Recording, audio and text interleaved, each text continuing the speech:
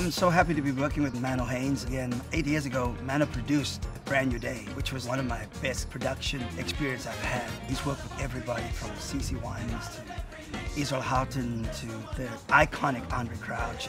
For me, he's like Quincy Jones. He takes your music to a whole nother level. Since then, I've produced all my records. The new album, Three. I think this is going to be my best work since Brand New Day, definitely.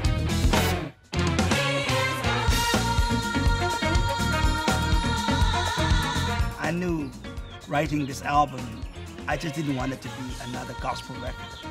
And I have to say, God gave me some amazing songs. I Am That I Am, Be Encouraged, Show Me the Way, Moving On, You're the One. I wanted it to be a South African ancestral spirit gospel with American flavor. This record has that. It has something for everyone. If you're white, black, doesn't matter.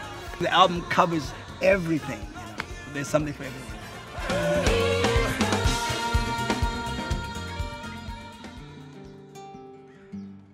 About three months ago, I had a fire at my house.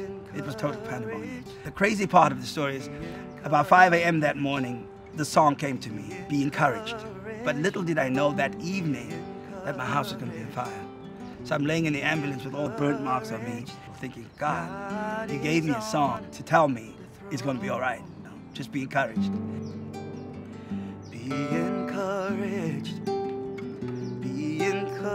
But I think Mano and I are going to be making history with this album. From what I'm hearing, it's just so fresh and so mean.